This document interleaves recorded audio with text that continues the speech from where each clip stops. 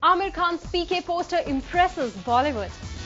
Aamir Khan has indeed stunned the masses with the recently released poster of his much awaited film PK.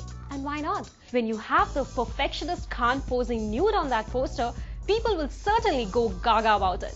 So while the audiences can't wait for the film to hit the theatres after watching this first poster, people from B-Town are no different.